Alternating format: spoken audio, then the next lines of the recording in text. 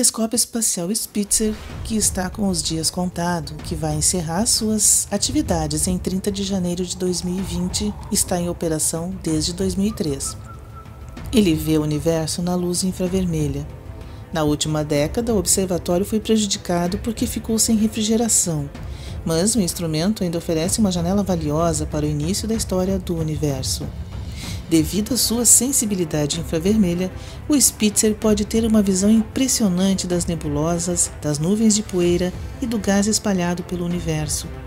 As estruturas verdes né, na recém-lançada imagem são nebulosas, com estrelas espalhadas dentro delas, incluindo um grupo chamado Cefeus C à esquerda e um chamado Cefeus B no canto superior direito. Também em exibição na imagem estão um aglomerado de estrelas e pilares, dos quais a nebulosa da esquerda parece estar emanando. Os dois pontos muito brilhantes próximos ao canto inferior direito da imagem representam uma nebulosa jovem, e acima deles, o arco vermelho representa uma onda de choque de gás criado pela estrela azul abaixo dele, uma estrela chamada fugitiva.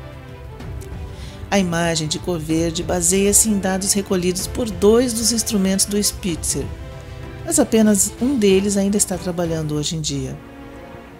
O outro precisava ser mantido refrigerado e está offline desde 2009. Comparando a visão do Spitzer de Cefeu C e B, tomadas com e sem aquele instrumento, mostra o impacto da perda deste instrumento. Quando faltou o segundo instrumento, Spitzer não pôde ver a estrela fugitiva e nem uma estrela massiva que forma uma ampulheta avermelhada no meio da faixa da nebulosa do lado esquerdo. A principal missão do Spitzer foi projetada para durar dois anos e meio. O telescópio continuou funcionando a plena capacidade por mais três anos e meio, antes de ficar sem a refrigeração. Em uma avaliação recente do projeto, a NASA decidiu encerrar a missão em 30 de janeiro de 2020. Os cientistas já estão de luto pelos últimos dias do Spitzer.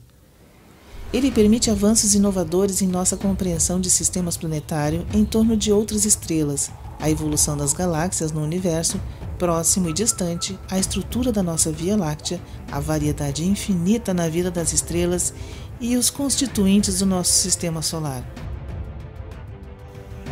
Isso dá ao telescópio apenas oito meses para fazer o maior número de observações possíveis. É claro que, mesmo depois que o Spitzer se desligar, os cientistas poderão acessar os dados coletados ao longo de sua carreira.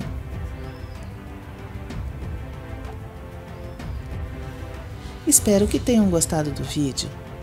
Se gostou, deixe o like, se inscreva no canal, compartilhe o vídeo nas redes sociais um agradecimento especial a todos os inscritos. Um abraço a todos e até o próximo vídeo.